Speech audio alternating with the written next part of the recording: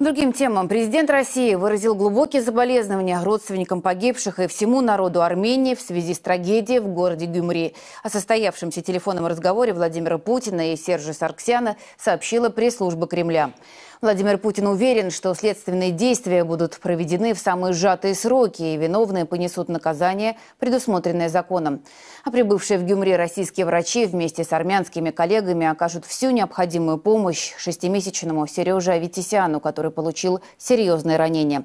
Как отметил Владимир Путин, Россия готова направить медицинский самолет, чтобы доставить ребенка в Москву для дальнейшего лечения. Напомню, в городе Гюмри на севере Армении в понедельник была убита целая семья, шесть человек, в том числе двухлетний ребенок. Еще один полугодовалый малыш серьезно пострадал, и сейчас за его жизнь борются лучшие врачи обеих стран. В совершении этого преступления уже признался солдат-срочник 102-й российской военной базы Валерий Пермяков. Он самовольно покинул расположение части и, совершив убийство, попытался перейти границу с Турцией, однако был задержан.